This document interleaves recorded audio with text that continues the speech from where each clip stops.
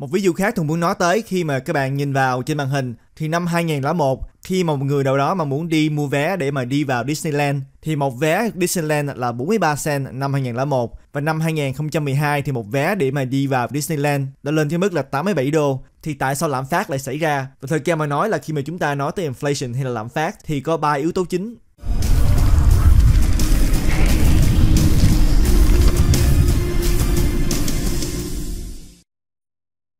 Xin chào các bạn đã đến với Thuận Capital ngày hôm nay. Một trong những điều mà chúng ta thường hay nói tới trên channel này đó chính là liên quan tới lạm phát. Và ngày hôm nay chúng ta sẽ cùng nhau nói về những căn bản liên quan tới lạm phát. Nhưng mà trước khi mà chúng ta bắt đầu thì cũng như thường lệ, tất cả chỉ vì mục đích thông tin và không được xem là lời khuyên đầu tư. Khi mà chúng ta nói tới lạm phát, thì xung quanh các bạn sẽ có rất nhiều dẫn chứng cho thấy là cái sự lạm phát là một điều xảy ra trong đời sống hàng ngày. Và một trong những ví dụ mà thường muốn nói tới đó chính là liên quan tới cái vé các bạn đi xem phim. Trên màn hình của các bạn đây chính là một thống kê được đưa ra bởi Fools.com cho các bạn thấy được là từ năm 1910 cho tới năm 2017 thì giá trị của cái vé xem phim đã tăng lên liên tục. Các bạn thấy là năm 1910 một vé xem phim chỉ có là 7 cent và cho tới năm 2017 thì một vé xem phim ở Hoa Kỳ đã tăng lên cái mức là 8 đồng 65 cent. Một ví dụ khác tôi muốn nói tới khi mà các bạn nhìn vào trên màn hình thì năm 2001 khi mà một người nào đó mà muốn đi mua vé để mà đi vào Disneyland, thì một vé Disneyland là 43 cent năm 2001 và năm 2012 thì một vé để mà đi vào Disneyland đã lên tới mức là 87 đô. Và thật ra đây là giá năm 2012 cái giá hiện tại là đã hơn 100 đô. Nhưng mà nào mà có con nhỏ và dẫn gia đình đi Disneyland thì cũng đã biết là một vé mắc tới cây nào. Thật ra các bạn thấy được một vé để đi vào Disneyland năm 1981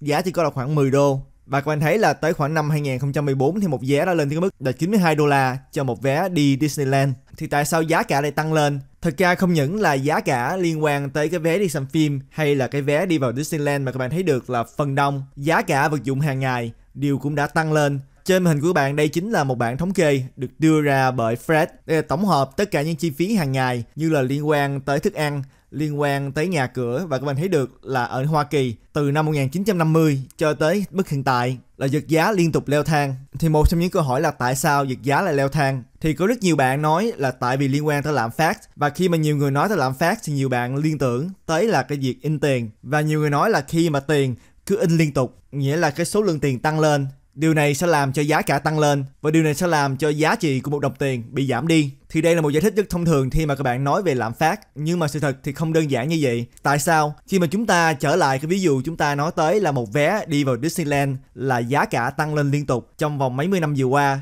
nhưng mà giá cả tăng lên thì có phải là tại vì nhà nước liên tục in tiền hay là không hay là giá cả tăng lên là tại vì càng ngày lại càng có nhiều người có nhu cầu đi Disneyland làm cho giá trị của một vé Disneyland càng ngày lại càng tăng hơn. Một ví dụ khác là chúng ta có thể nói tới là ở Hoa Kỳ, các bạn thấy được là từ năm 1940 cho tới năm 2000 thì giá cả nhà trung bình, các bạn thấy được là năm 1940 là khoảng 2.900 đô và liên tục tăng trưởng mỗi 10 năm, các bạn thấy được là khoảng năm 2000 thì một căn nhà trung bình là khoảng 119.600 đô dựa theo tài liệu được đưa ra bởi CNBC. Như vậy thì giá cả nhà tăng lên là tại vì tiền in ra càng ngày càng nhiều hay là giá cả tăng lên, là tại vì càng ngày lại càng có nhiều người có nhu cầu mua nhà, nhưng mà số lượng nhà thì cũng không thay đổi. Nhưng mà thật ra khi mà chúng ta tính luôn cái phần trăm lạm phát thì các bạn thấy được là một căn nhà năm 1940 là khoảng 2.900 đô. Nhưng mà cái số tiền 2.900 đô này nếu như điều chỉnh lại, tính luôn lạm phát 2.900 đô đó là khoảng 30.600 đô. Và các bạn thấy là cũng tương tự khi chúng ta nói tới những năm kế đó như là 7.000 đô năm 1950 thì nghĩa là khoảng 44.600 đô năm 2000. Thì các bạn thấy được là khi mà chúng ta tính luôn phần trăm lạm phát thì giá trị nhà vẫn tiếp tục tăng lên. Thì đây có phải là một dẫn chứng cho thấy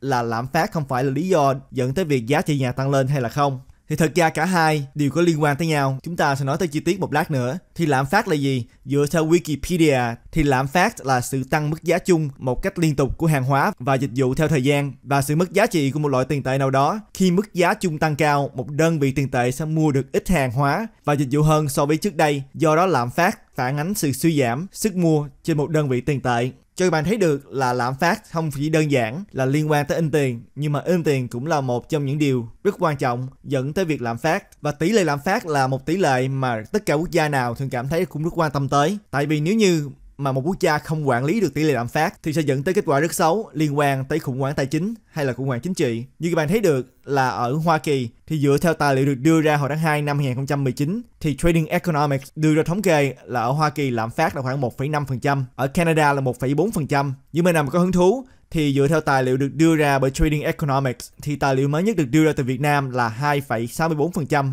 ở Ấn Độ là 2,57%, ở Hồng Kông là 2,4%. Và hồi nãy chúng ta mới vừa nói tới, một quốc gia mà nếu như không quản lý được tỷ lệ lạm phát, có nghĩa là cái tỷ lệ mà giá cả của hàng hóa leo thang thì sẽ có ảnh hưởng rất lớn đối với nền kinh tế và sẽ ảnh hưởng tới cả chính trị. Và trên lịch sử thì có vô số những dẫn chứng như là chúng ta nói tới liên quan tới nước Đức sau chiến tranh thế giới thứ nhất. Lúc đó thì nước Đức cần rất nhiều tiền để mà chỉnh sửa lại quốc gia, cho nên đã in rất nhiều tiền và cuối cùng đã dẫn tới việc siêu lạm phát. Hay là chúng ta nói tới cái sự suy giảm kinh tế năm 1930 ở Hoa Kỳ, hay là chúng ta nói tới cái sự sụp đổ của nền kinh tế, của chủ nghĩa Liên Xô trước đây, những năm 1980 hoặc là chúng ta sẽ nói tới sự sụp đổ của nền kinh tế của nước Nga năm 1998 cho bạn thấy được là trong những cái dẫn chứng này, một trong những lý do dẫn tới cái sự sụp đổ nền kinh tế, đó chính là siêu lạm phát. Thì chúng ta không cần phải nhìn quá xa, chúng ta nhìn vào tài liệu hiện tại. Các bạn thấy được là Bắc Hàn dựa theo tài liệu được đưa ra từ năm 2013 thì cái phần trăm lạm phát là 55%, Zimbabwe là 59,39% và Venezuela các bạn thấy là tài liệu mới nhất được đưa ra từ tháng 1 năm 2019 mới đây là 2,6 triệu phần trăm đây là một cái số lượng siêu lạm phát mà thường nghĩ là không có mấy người có thể tưởng tượng được và tình trạng ở Venezuela là vô cùng tệ ở thời điểm hiện tại. Các bạn cũng đã biết là việc siêu lạm phát là yếu tố quan trọng dẫn tới việc liên quan tới sụp đổ nền kinh tế ở Venezuela và bây giờ đã dẫn đến khủng hoảng chính trị. Những bạn nào mà có hứng thú muốn biết thêm về Venezuela thì đã làm một cái video cách đây khoảng chừng vài tuần. Trên màn hình của các bạn sẽ có một cái link các bạn bấm vào để mà xem video đó. Và trước khi mà chúng ta tiếp tục, nếu như bạn nhận được giá trị trong video ngày hôm nay thì bạn đừng quên nhấn nút like và đăng ký vào kênh để giúp kênh tiếp tục được phát triển. Thì tại sao lạm phát lại xảy ra? Và thời gian mà nói là khi mà chúng ta nói tới inflation hay là lạm phát thì có ba yếu tố chính dẫn tới việc lạm phát. Yếu tố thứ nhất chúng ta sẽ nói tới là cost push inflation hay là lạm phát chi phí đẩy. Vậy thì lạm phát chi phí đẩy là như thế nào? Thì giả sử như là chúng ta nói tới một nhà máy một nhà máy này là sản xuất những sản phẩm thì để sản xuất được sản phẩm nhà máy này là phải lấy tài nguyên từ một nơi khác và nếu như mà tài nguyên đó bị đẩy giá lên thì cái giá tài nguyên đó sẽ được đẩy tới cái nhà máy này làm cho chi phí sản xuất tăng hơn tại vì tài nguyên mà nhà máy này cần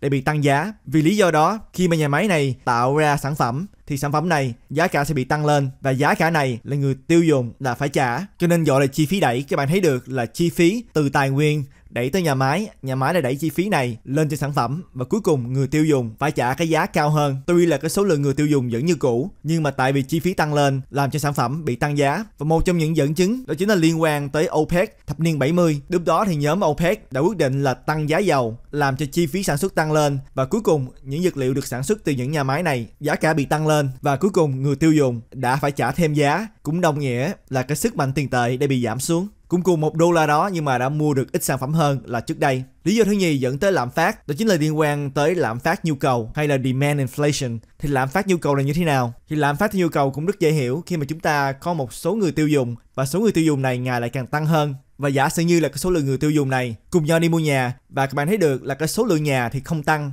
như là cái số lượng người tiêu dùng và điều này đương nhiên dẫn tới việc là những người tiêu dùng sẽ cùng nhau đấu giá nhà. Và lúc đó, giá trị của một căn nhà sẽ bị đẩy lên. Và các bạn nhìn xung quanh, các bạn cũng đã thấy là điều này xảy ra. Hầu như là nơi nào các bạn cũng đã thấy là tại vì cái số lượng người mua nhà nhà lại càng tăng lên, mà đất thì lại không có thêm, nhà cũng không có thêm nhiều bằng cái số lượng người tăng. Cho nên cuối cùng, giá trị một căn nhà đã tăng lên trong vòng mấy chục năm vừa qua. Như thì tại sao cái số lượng người tiêu dùng bị tăng lên, thì có một số lý do. Như là chúng ta sẽ nói tới là một trong những lý do đó chính là liên quan tới lãi suất. Khi mà một chính phủ nào đó hay là một ngân hàng trung ương nào đó quyết định là sẽ giảm lãi suất, thì điều này có thể làm cho việc là nhiều người tới ngân hàng để mà mượn tiền hơn. Giả sử như chúng ta mới vừa nói tới là những người này tới ngân hàng để mà mượn tiền, và càng ngày lại càng nhiều người tới ngân hàng để mượn tiền. Tại sao? Tại vì lãi suất đang giảm, làm cho nhiều người có hứng thú mượn tiền hơn. Và những người này sau khi mượn tiền lại dùng số tiền đó để mà mua cùng một số lượng hàng hóa hay là nhà chẳng hạn, thì điều này đương nhiên sẽ dẫn tới việc là nhà bị tăng giá, tại vì cái số lượng nhà không tăng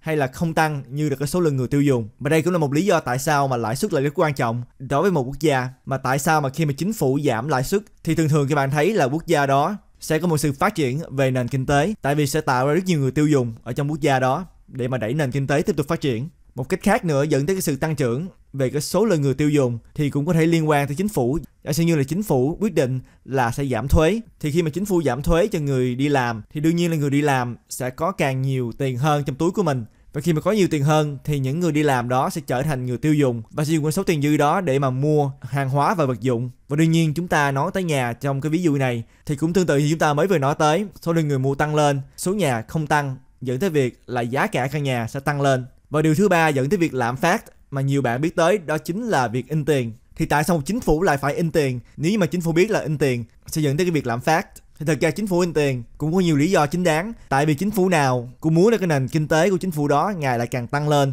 và một trong những cách mà làm tăng cái nền kinh tế của quốc gia đó chính là việc bơm tiền vào thị trường bơm tiền vào nền kinh tế. Tại vì khi mà tiền được đưa vào nền kinh tế, thì sẽ càng ngày có càng nhiều người tiêu dùng hơn và nhiều người mua hàng hóa, mua đồ, mua dịch vụ, thì sẽ càng có nhiều người có công an việc làm hơn. Và càng có nhiều người có công an việc làm, thì lại càng có nhiều người tiêu dùng. Và cứ thế các bạn thấy được là sẽ xây vòng làm cho nền kinh tế quốc gia đó ngày càng mạnh hơn. Đó cũng là một trong những lý do tại sao mà chính phủ muốn in tiền. Thì khi mà chúng ta nói tới chính phủ in tiền thì có hai cách chính. Cách đầu tiên chúng ta nói tới là chính phủ mở máy in và in thêm tiền in thêm giấy và đưa giấy vào thị trường và cách thứ nhì là chính phủ có thể thả lỏng cái việc là cho vay, làm cho ngân hàng có thể là cho vay mượn nhiều hơn là con số ổn định trước đây nhưng mà dùng cách nào đi nữa thì cái số tiền đưa vào thị trường cũng nhiều hơn và sẽ dẫn tới việc là giá trị của đồng tiền đó sẽ bị giảm xuống. Tại sao thì tôi nghĩ là các bạn cũng đã biết, khi mà cái số lượng tiền được tăng lên nhưng mà cái số hàng hóa lại không tăng thì sẽ càng có nhiều tiền cùng mua một số hàng hóa đó và dẫn tới việc là giá trị bị đẩy lên.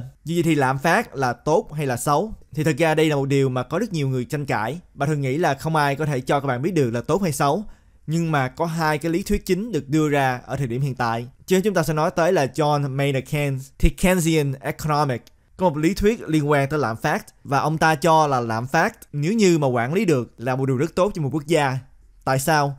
Thì để thường giải thích cho các bạn hiểu sơ sơ về lý thuyết này. Thì trên lý thuyết này nói là giả sử như là một chính phủ đâu đó in tiền hay là dùng một cách nào đó để mà đưa thêm tiền vào trong thị trường, thì đương nhiên các bạn cũng đã biết là điều này có thể dẫn tới việc là giá cả hàng hóa tăng lên như chúng ta mới vừa nói tới. Nhưng mà khi mà chính phủ in thêm tiền cũng không có nghĩa là giá cả sẽ tăng lên ngay lập tức. Có thể là chính phủ in tiền vài tháng sau thì lúc đó giá cả mới tăng lên. Nhưng mà trong cái thời gian mà tiền được in ra mà giá cả chưa tăng lên, thì trong thời điểm đó người tiêu dùng sẽ mua nhiều hàng hóa và dịch vụ hơn, làm cho nhiều công ty có lợi hơn. Và khi mà nhiều công ty có lợi hơn, thì đương nhiên là họ sẽ mướn thêm nhân viên, làm cho nhiều người có công việc làm hơn, hay là lương sẽ được trả cao hơn, tại vì công ty bây giờ có lời nhiều hơn. Thì đương nhiên là những nhân viên này được trả lương cao hơn, hay là nhiều người có công việc làm hơn, thì những người này lại dùng tiền của mình để mua hàng hóa và dịch vụ, và những công ty đó lại tiếp tục kiếm được tiền và lại tiếp tục mướn người và tăng lương thì các bạn thấy được là đây là một cuộc xây vòng mà nhiều quốc gia hy vọng khi mà một quốc gia quyết định in tiền để mà thúc đẩy sự phát triển của một nền kinh tế và đây là một giả thuyết mà rất nhiều người tin tưởng rất nhiều quốc gia tin tưởng vào giả thuyết này nhưng mà không phải ai cũng tin tưởng có một số người nghĩ là lạm phát là một điều hoàn toàn không cần thiết. Tại sao? Tại vì khi mà chúng ta nói tới in tiền thì nhiều người nghĩ là đúng là có thể là in tiền, giá cả sẽ không tăng lên ngay lập tức. Nhưng mà khi mà chúng ta nói tới công ty có lợi nhuận hơn, bán được nhiều sản phẩm hơn thì cũng chưa chắc là những công ty đó sẽ mướn thêm người hay là tăng lương. Cho nên đây là một giả thuyết rất lớn, có thể trên thực tế đây không phải là sự thật và đương nhiên, nếu như đây không phải là sự thật, thì nền kinh tế đó sẽ không được hưởng bất cứ lợi nhuận nào từ việc in tiền cho nên cái phía đối đầu, nó là lạm phát, là một điều hoàn toàn không tốt đối với một quốc gia. Cho nên những cơ bản về lạm phát mình thường muốn chia sẻ với các bạn trong video ngày hôm nay. Các bạn nghĩ sao về tài liệu này? Thì các bạn hãy comment ở phía dưới. thường hy vọng là các bạn nhận được nhiều giá trị trong video ngày hôm nay và Thuận sẽ hẹn gặp lại các bạn trong video kế tiếp. Tạm biệt các bạn. Cảm ơn các bạn đã dành thời gian để mà xem cái video này. Các bạn đừng quên nhấn cái nút like và những bạn nào mà chưa đăng ký thì hãy đăng ký vào chương trình YouTube này để nhận được những thông tin mới nhất và những bạn nào mà có nhu cầu liên hệ với Thuận Capital hay cần link các sàn giao dịch hay là các sản phẩm liên quan tới tiền kỹ thuật số thì tất cả các link chính thức nằm ở phía dưới cái video này. Tạm biệt các bạn.